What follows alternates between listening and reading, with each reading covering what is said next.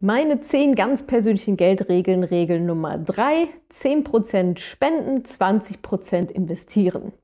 Ich spende 10% meines Einkommens privat an verschiedene Organisationen, beispielsweise Plan International, Intakt Mädchenhilfe oder auch den NABU. Da habe ich mir so das rausgesucht, ja, was mir da gefällt, wo ich auch denke, dass die Spenden sehr dringend benötigt werden. Plus natürlich aus aktuellen Situationen, wenn sich was ergibt, Erdbebenhilfe, Krieg und so weiter, da spende ich dann gerne nochmal einen Ad-Hoc-Betrag. Also 10% finde ich ist eine sehr schöne Hausnummer. Mit der Firma machen wir genau das Gleiche.